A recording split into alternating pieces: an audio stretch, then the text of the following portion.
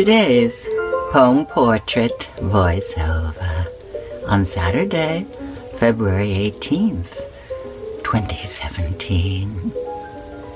Docs on a Battlefield by Suzán Jiván, Mom and Mom Mom Suzán.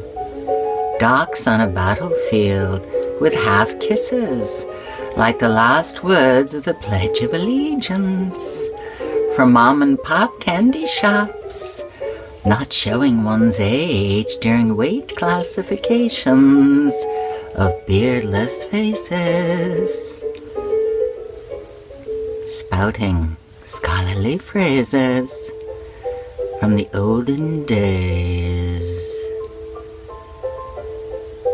given unflattering makeovers in recent portrayals by pre-K illustrators being buoyed over multi-generations, all in crayon.